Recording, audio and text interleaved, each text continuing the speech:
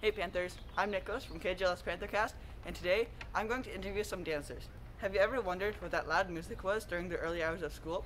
That's the Zumba dancers. Zumba, which is a fitness program created in 2001, is enjoyed in over 180 countries.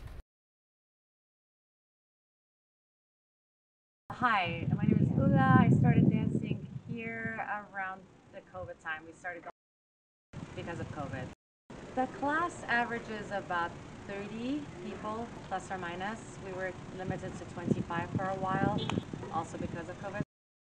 So you can go to ooladancefitness.com, O-O-L-A, dancefitness.com, and you can send me a form, and I'll add you to the database, and then I usually send out emails the day before class.